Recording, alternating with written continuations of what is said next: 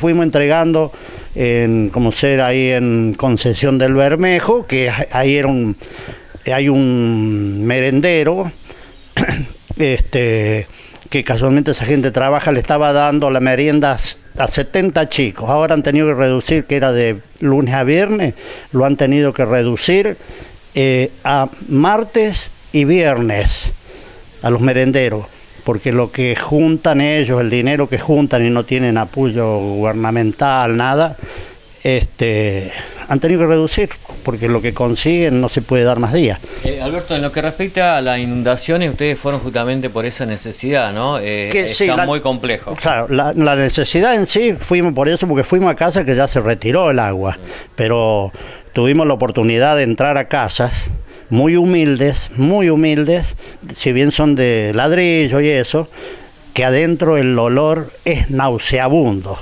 ¿no? ¿Cómo será que mi otro hijo Sergio eh, salió porque se descomponía? Yo entré más viejo, entré porque ahí tuvimos que llevar una señora de mi edad, 76 años, está prácticamente lisiada y tiene un nieto de 25 años que lo ha criado ella, que es lisiado ese chico este, en todos los sentidos. Bueno, no tenían cama. Yo vi mismo, entré a la pieza, tenían una cama armada con cajones de fruta. le llevamos una cama que Montesino, esta chica, sabía que hacía falta eso y un colchón. Este, yo entré adentro este, y los otros muchachos que fueron le armaron la cama y eso y el colchón, pero era imposible vivir ahí, no se puede vivir así en esas condiciones. Si baja el agua va a ser complicado después para Claro, ahí había bajado, ahí había bajado el agua. Este, ya no tenían agua adentro, pero los pisos son de tierra con una capita de cemento arriba algunos, que les había roto todo, y era barro, las camas, las patas de las camas, el que tenía cama hundida, este, todas esas cosas. Y el agua se descompone que ustedes andan a la noche, uno salía cuando vimos, cuando anduvimos por ahí, y el agua está entre los yuyos, hay un olor a una descomposición total. Se pudre el agua, en una palabra. Bueno, así que esa era una de las cosas. Después cuando empezamos el primer, la primera bajada, que fue en la casa, en la casita esa, a las afueras de ahí de Concesión del Bermejo, llevábamos el chasis lleno. La gente lo que más pedía, zapatillas y pañales. Bueno, habíamos llevado comida porque este chico Castaño, que es el yerno de Corsini, que tiene camiones, él tiene camiones, estaba acá, se fue a vivir a Río Cuarto, él juntó bastante alimento. Este, repartíamos comida, pero lo que te pedían era calzado y cositas para bebé. Yo me tocó repartir, perdónenme, porque sí, sí, sí.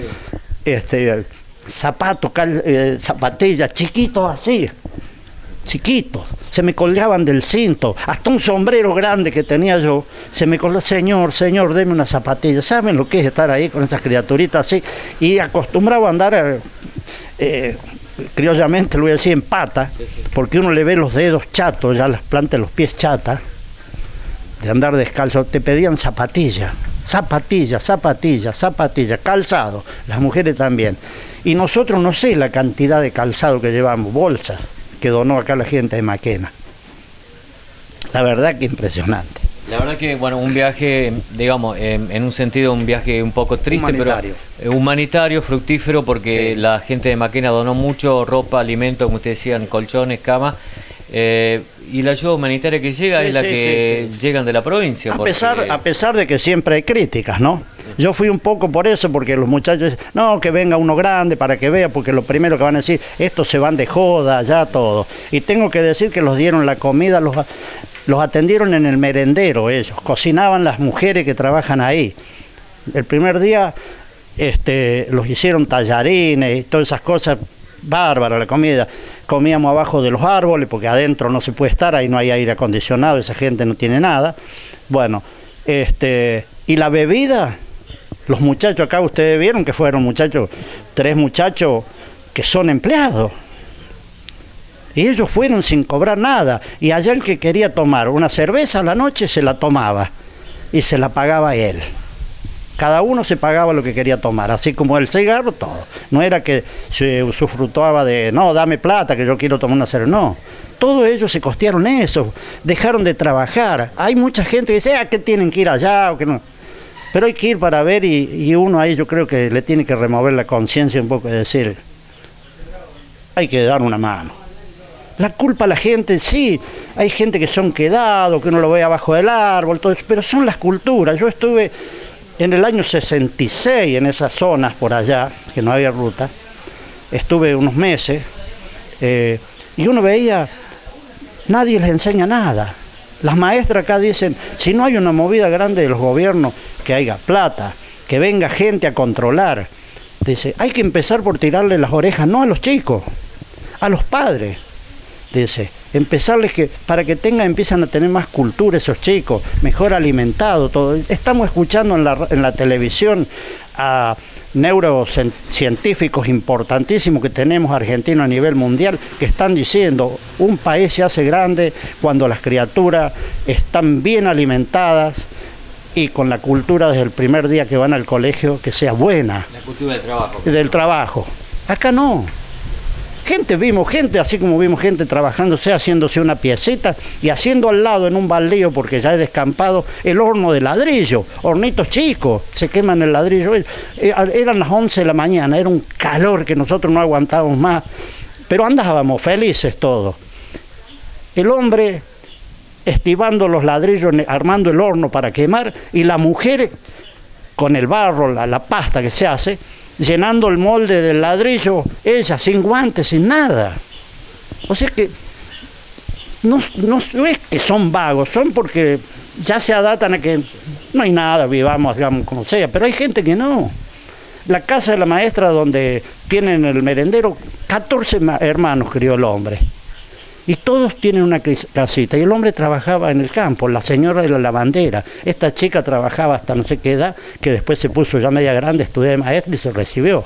Hace 15 años que es maestro. O sea que hay gente que por ahí han tenido la suerte que algunos los ha guiado, alguna cosa, y han hecho algo. Porque cría 14 hijos y todos tienen un terrenito, porque el padre era de. El padre, los terrenos eran del padre. En esas épocas habrá sido que lo regalarían a lo mejor el terreno. Y eso es lo que está pasando acá en el país. No hay cultura. Da bronca, yo renegaba y puteaba la noche cuando iba contra todos los gobiernos. Porque yo la ruta esa la conocía, como te dije anteriormente. Pero sucede que si vieran los miles de millones de dólares que salen de cereal que producen esas tierras, ¿no? Este, las rutas, hay partes que no se puede andar.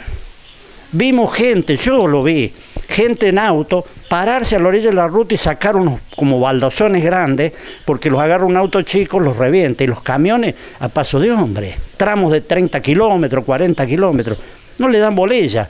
Lo que sí han hecho, bárbaro, está bien, para el país, el Belgrano carga, la aceitera general de esa hizo una planta de acopio en Pampa del Infierno, nueva, está dando trabajo, bien, estaban haciendo los baños para los camioneros, todo moderno, bien, todo.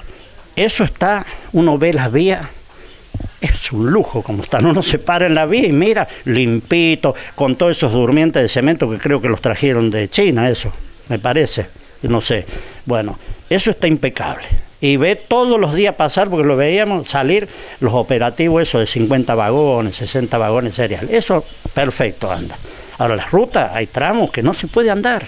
Alberto, ha sido un gusto hablar con usted contándonos un poco no, al contrario. Y lo importante es que la gente de Maquena haya podido ser eh, una vez más el partícipe de estas donaciones que llevan. Y yo la satisfacción, esto no es, eh, yo a mi edad ya con algunos achaques, andar allá, pero andaba con gusto. Es una satisfacción personal que sentíamos todos, hablaban muchachos, de haber podido llegar a hacer algo. Y acá agradecido a todas esas mujeres que trabajaron, colaboraron, esta chica Montesino, un montón de chicos que vinieron, que ahora no los tengo en mente, cuando hubo que cargar porque íbamos en otro camión y después dispusimos ir con el camión del hijo. Este, eh, como es, y vinieron un día a pleno sol, a las 3 de la tarde, a transbordar las cargas. Había que cargar. En un chasis llevamos 5.000 kilos de ropa. Griselda también tuvo mucho Griselda Rosalde, Rosales, Molina, quiero decir, eh, perdón, eh, tuvo mucho que ver porque ella juntó muchísima, muchísima ropa con su gente. Incluso ya la mandaban seleccionada, iba en bolso para niños, para adultos varones, para adultos mujeres, los calzados, todo. Por ahí los reíamos porque le mandaron calzado que había donado gente que pobrecito, ni los conocen de las mujeres, tacos altos, blancos, y yo las cargaba y le decía, ¿este para qué se lo, se van a poner? Para ir a la ruta, para caminar el asfalto, si no, no, imposible. Así como había gente, fue una risa, una señora mayor, no sé si le habían dado una pollera, ropa muy buena iba muy buena. Una pollera, no sé qué color, y estaba este muchacho Gómez arriba del camión, repartía los. Un, dame un 33, un 35, y así, un, 32. Entonces, y una señora le dice, muestra unos zapatos así, no sé qué número. Eso me van a mí, dámelos que me hace juego con la pollera, decía la mujer. Fue una risa todo, ¿no?